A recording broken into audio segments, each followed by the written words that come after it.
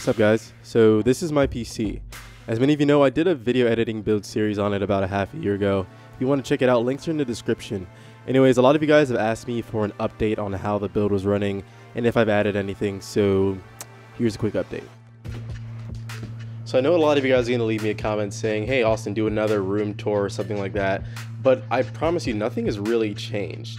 Uh, but either way, uh, let me know if you guys want to see one by uh, giving this video a thumbs up and leaving me a comment down below if you guys want to see one in the future. So again, this is my PC. I don't want to be too redundant here, but it's running an i7 4770K, 16 gigs of RAM, and a GTX 760, all inside of a Fractal Design R4. But chances are you probably already knew that. So what has changed from the build video? Well, for starters, I initially installed only 8 gigs at the time and was saving the other 8 for later. Well, this is later. I also added a very cheap wireless adapter that I actually pulled out of an older PC.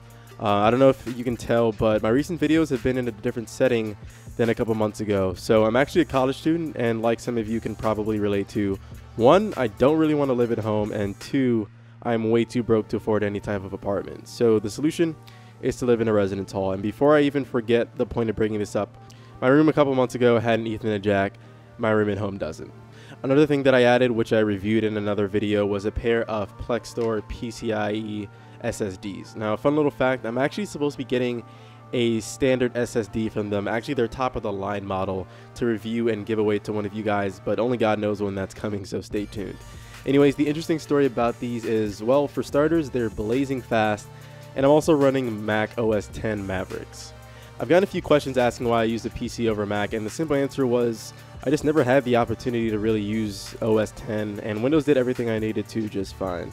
Uh, anyways, I took this opportunity to install OS 10, and it's nice.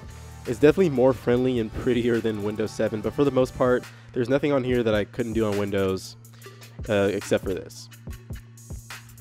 Now I know it's really simple, but before I got this second monitor, this little trick right here increased my productivity by at least 50%. It's like it gives me more virtual real estate and I just love it. Anyways, I think that's about it for changes. Um, on the performance side, everything is great. I built this PC to edit videos and it's doing the job pretty well.